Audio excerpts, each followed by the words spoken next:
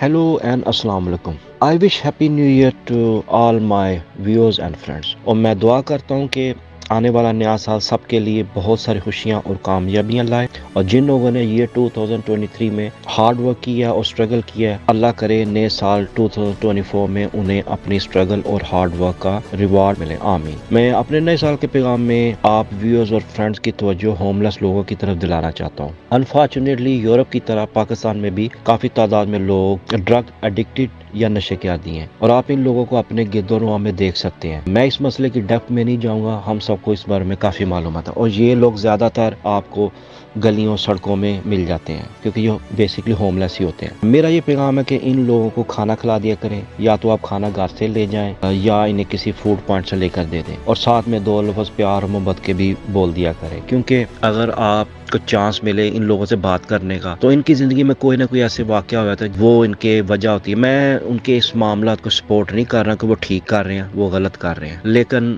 کوئی نہ کوئی ان کی زندگی میں بھی ایسے معاملات ہوتے ہیں کہ اب ہم دیکھیں تو دکھ ہوتا ہے۔ کہتے ہیں کہ جی مریض سے نفرت نہیں کریں، جو اس کے مرض سے کرے، اسی طرح ہم کسی بیمار سے نفرت کریں، اس کے بیماری سے نفرت کریں۔ تو یہ لوگ ہیں کہ ان کو بھی ہم ذرا تھوڑا سا کنسیڈر کریں، تو ان کی بھی کچھ ہیلپ ہو جاتی ہے۔ تو ہمارے ہو سکتا ہے دو لفظ پیار، محبت کے بولنے سے ان کی زندگی میں کوئی پازیٹیو امپیکٹ آ جائے۔ بڑے لوگ ایسے ہیں جو نشے کی عادت میں لگتا ہے اور وہ یہ چھوڑنا چاہتے ہیں۔ وہ چاہتے ہیں کہ ہم چنگل سے نکلیں۔ تو یہ ایک چھوٹا سا اسٹیپ ہیلپ ہو سکتی ہے۔ دوسری بات ہمارے پاکستان کے تمام بڑے شہروں میں میں جتنے بھی شہر ہیں، چھوٹے بڑے، ہر شہر کے سینٹر میں کچھ پوائنٹس بنے ہوئے جہاں کے صبح مزدور حضرات آ جاتے ہیں جو ڈیلی ویجز والے ہیں۔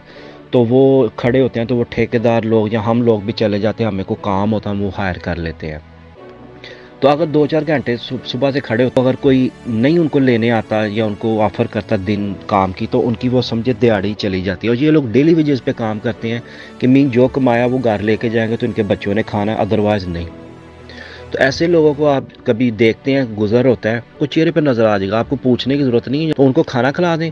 اور اگر تھوڑی سی ایفرٹ اور کر دیں تو ان کو اتنا انداز سے خرید دیں، چھوٹے کسی فوڈ پوائنٹ سے کہ وہ گھر میں جائیں تو اپنے بچوں کے لیے کچھ کھانے کے لیے لے کے جائیں خالی ہاتھ نہ جائیں۔ تو یہ میرا پیغام ہے چھوٹا سا۔ اور صرف میں یہ کہوں گا کہ خوشیاں بانٹنے سے بڑھتی ہیں۔ بعض اوقات کوئی خوشی ہمارے لیے یا کوئی کام ہمارے لیے چھوٹا ہوتا ہے، ہمارے لیے کچھ نہیں معنی رکھتا۔ لیکن کسی دوسرے کے لیے وہ بڑی چیز ہوتی ہے۔ تو اگین میں آپ سب کو نیا سال مبارک کہنا چاہتا ہوں کہ اللہ تعالیٰ ہر بندے کے لیے، پاکستان کے لیے، ان کے لوگوں کے لیے جو نیا آنے والا سال خوشیاں لائے اور جو جو لوگوں کے اپنے ٹارگٹس ہیں، دعائیں ہیں، خواہشات ہیں پورے۔ تھینک یو خدا حافظ۔